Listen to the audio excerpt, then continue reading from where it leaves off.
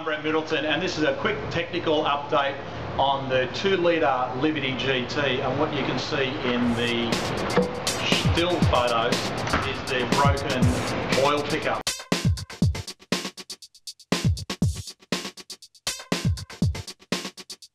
Now this car suffered intermittent uh, oil pressure problems for the last two years, would you believe? It was reported to another workshop and then the car drove to us about two hours away in sheer desperation. The customer wanted to get it fixed. Thankfully he did because what we diagnosed is, I wouldn't say it's a common problem, but it is a common problem to be aware of on some Subarus around the world.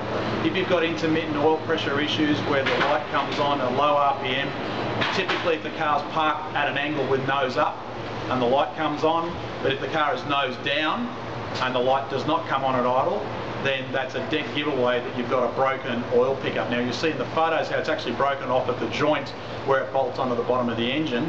And um, what I can show you here, and get my trusty video man here, you can see we've now put it all back together with the replacement sump, a new sump plug washer, and this car now is certainly potentially going to save the client a lot of money from potential long-term engine damage because you certainly don't want to be driving a car around with a broken oil pickup in your Subaru.